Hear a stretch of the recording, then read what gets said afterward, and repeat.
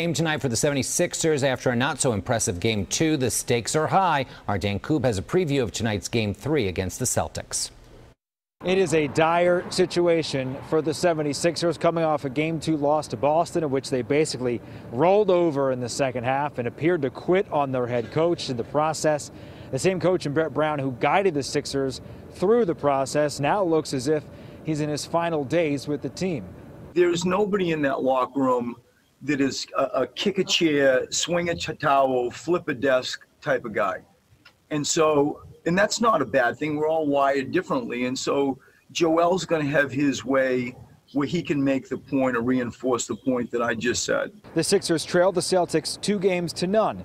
And whereas a typical series would have shifted to South Philly Friday, where the Sixers were an NBA best 31 and 4 this year, they'll continue to play on a neutral court in the Magic Kingdom.